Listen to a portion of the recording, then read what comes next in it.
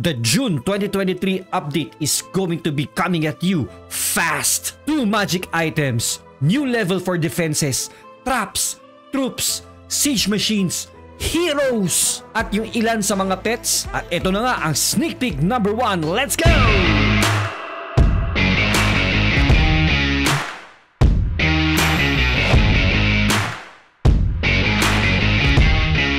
Okay, unahin na agad natin yung magic items dito. Ito na nga po is yung pet potion. Thank you at matagal na nating hinihintay ito since Town Hall 14 pa at sa wakas magiging available na po ang pet potion. Ito po is similar do sa research potion sa ating pong laboratory.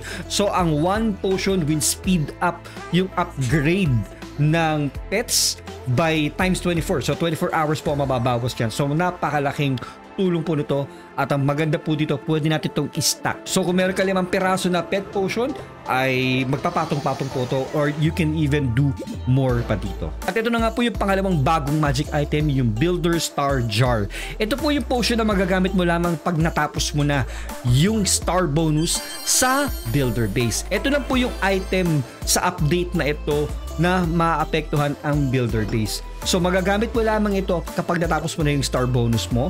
Uh, for example, meron ka pang remaining 2 hours bago ka magkaroon ng star bonus. Kapag ginamit mo ito, magkakaroon ka ng star bonus. Then, kapag natapos mo na yung star bonus mo, uh, babalik yung 2 hours remaining. So, para magandang strategy ito para magawa mo ulit ng sunod-sunod yung star bonus mo. So, star bonuses equals more loots po sa filter base. At ito na nga ang pinakamatindi, new building levels. Unahan na kagad nito ng level 10 Dark Barracks. Anong ibig sabihin nito? Magkakaroon ng new Dark Troop. Kung ano, Well, hindi pa natin alam. Yan ang aalamin natin sa mga susunod pang sneak peeks. So, ang bagong level 10 Dark Barracks po ay magiging available from Town Hall 13 pa lang. So Town Hall 13, magagawa na nating level 10 ng ating Dark Barracks at ma-unlock na natin yung bagong troop na papalabas na aalamin natin sa mga susunod na araw. At sa Town Hall 15 naman, at ito lang ha, inumpisahan na nila magkakaroon po ng bagong level ang Eagle Artillery, ang Hidden Teslas, ang Scatter Shots at ang mga Builder's Hut. Lahat po yan ay dapat nating i-upgrade. Kaya ngayon pa lang sa sobrang dami ng i-upgrade natin mukhang aabutin na naman to ng ilang buwan. Magkakaroon din po ng bagong level sa traps, specifically yung pong Seeking Air Mine at yung Giant Bomb. Yun lang naman. Magkakaroon din ng new level sa spells. Ito ang pinakagusto ko, yung Clone Spell level 8 at magiging 42 housing space na po ang kaya niyang i-clone. Magkakaroon din po ng Skeleton Spell level 8 at ang maisasamo na po niya ngayon ay 19 skeletons na nga. Magkakaroon din po ng new level sa troops ito lang nga po, ang Goblin, syempre damay na doon ang Sneaky Goblin, magiging level 9 na po sila. Ang Valkyrie at ang Super Valkyrie, damay na rin po, magiging level 10. Ang Healer ay magiging level 8. How I wish meron pong super healer, no? Then yung Dragon and damay na rin po yung Super Dragon, magiging level 10 na po sila. Mukhang kailangan niyang ipa-level 10 yung Super Dragon dahil hindi siya talaga ganun ka tibay. Pero yun, we'll see. Mukhang makakakita tayo dito ng mga Super Dragon attacks na naman. No?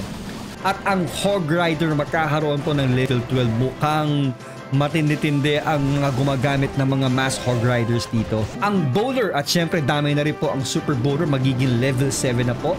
Ang Baby Dragon, damay na rin po ang Inferno Dragon, magiging level 9. Ang Yeti ay magiging level 5 na rin po.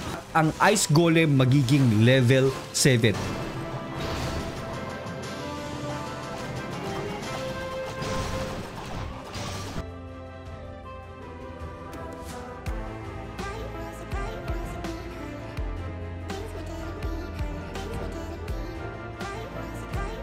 Magkakaroon din po ng new levels ang Siege Machine. Well, dalawa lang ang magkakaroon ng new level. Magiging level 5 na po ang Wall Wrecker at ang Stone Slammer. Ito po ay available lang din sa Town Hall 15. Magkakaroon din po ng new levels ang Pets. Pero dalawa lang naman din. No? So, unahan lang po ito ni Lassie at ni Mighty Yak. Pareho sila magiging level 15 siguro kailangan natin masubukan na to kasi parang mahirap palitan si Diggy no, ni Lassie. Pero yung Mighty Yak na level 15, mukhang magandang subukan yan. At ito na nga, magkakaroon ng new levels ang heroes. plus 5 levels sa lahat. So that's level 90 Archer Queen at Barbarian King. Grand Warden po ay magiging level 65. Si RC ay magiging level 40. Magkakaroon din po ng upgrade cost reductions. Ilalagay ko nila po sa screen yung buong detalye nila.